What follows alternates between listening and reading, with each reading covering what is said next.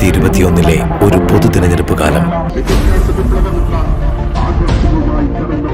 മറ്റിടങ്ങളിൽ നിന്നും വ്യത്യസ്തമായി വാഗ്ദാന പെരുമഴകളില്ലാതെ ചില വേറിട്ട കാര്യങ്ങളുമായി ഒരാൾ ജനങ്ങളോട് സംവദിക്കുന്നു. നമുക്കുജ്വലമായ ഒരു ഭാവി ഈ കുട്ടികളുടെ ഭാവിയാണ് എന്റെ സ്വപ്നം.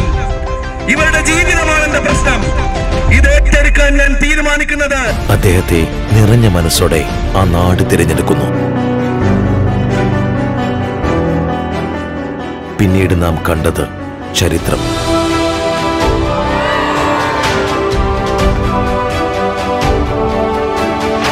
ക്രിയ എന്ന വിദ്യാഭ്യാസ പ്രോജക്റ്റിന്റെ ഏറ്റവും നിർണായക ചുവടുവയ്പ്. രണ്ടായിരത്തി ഇരുപത്തിരണ്ട് ജൂലൈ മുപ്പത്തിയൊന്നിന്.